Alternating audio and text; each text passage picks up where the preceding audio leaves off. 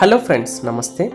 ఆదివారం రోజు తెలంగాణలో బోనాల పండుగ అంగరంగ వైభవంగా జరిగింది. వేలాది మంది భక్తులు తరలివచ్చి మహంకాళి అమ్మవారిని దర్శించుకున్నారు. సికింద్రాబాద్లో పెద్ద ఎత్తున బోనాల పండుగ జరిగింది. ఈ బోనాల పండుగకి తీన్మార్ సుజాత జోర్దార్ సుజాత కూడా హాజరై తన బోనం సమర్పించి అమ్మవారిని పూజించుకుంది. కుటుంబ సభ్యులతో కలిసి బోనాలు తీసుకున్న ఫొటోస్ను షేర్ చేసి అభిమానులతో పంచుకుంది. జోర్దార్ సుజాత గురించి మనం ప్రత్యేకంగా పరిచయాలు అవసరం లేదు.